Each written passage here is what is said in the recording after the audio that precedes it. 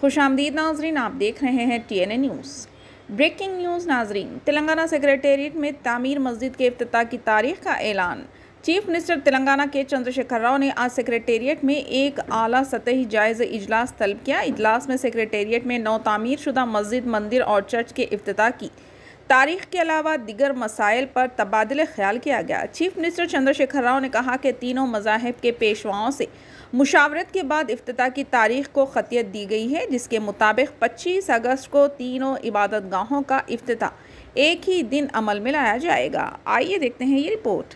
Channel को like करें, share करें और सब्सक्राइब करना ना भूलें।